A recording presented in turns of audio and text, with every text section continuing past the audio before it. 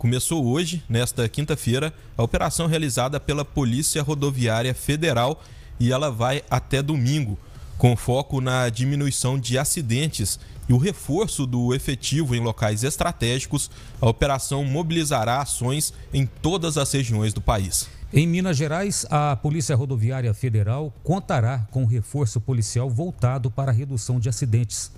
Com base em estudos desenvolvidos para identificar locais e trechos estatisticamente perigosos, serão realizadas atividades de prevenção e fiscalização nos locais identificados como mais críticos. Bem, condutas arriscadas de condutores imprudentes, como ultrapassagens indevidas, embriaguez ao volante, não utilização do cinto de segurança, o transporte inadequado de crianças, a falta de uso do capacete, excesso de velocidade e também utilização do telefone celular na condução de veículos serão os principais alvos dessa fiscalização. O enfrentamento à criminalidade também será intensificado com o objetivo de deter criminosos, recuperar veículos furtados e roubados, apreender armas ilegais, drogas e outras mercadorias ilícitas de circulação.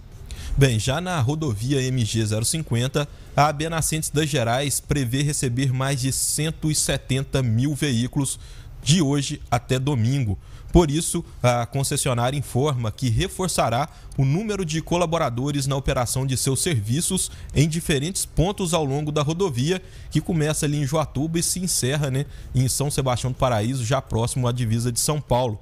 A Benacentes também alerta para que os motoristas dirijam com atenção e respeite a sinalização da rodovia. Bem, a previsão da concessionária é de maior volume de tráfego na saída do feriado a partir das 4 horas da tarde desta quinta-feira e também no domingo após o almoço. Em caso de qualquer emergência ou qualquer incidente, o telefone da concessionária está aberto para prestar atendimento 24 horas por dia.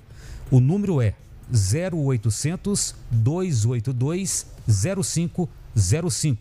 0800 282 0505.